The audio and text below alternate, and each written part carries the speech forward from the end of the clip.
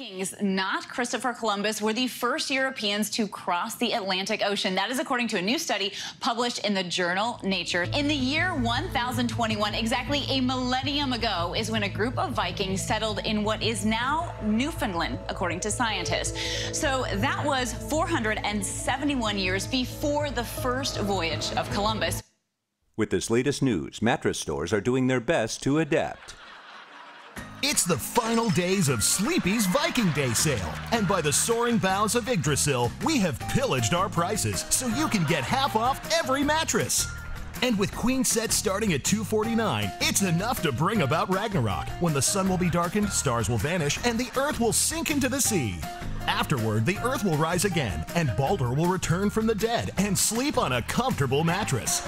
Plus, get a free box spring and two free pillows if thou inscribes a stave on a tree with crow's blood.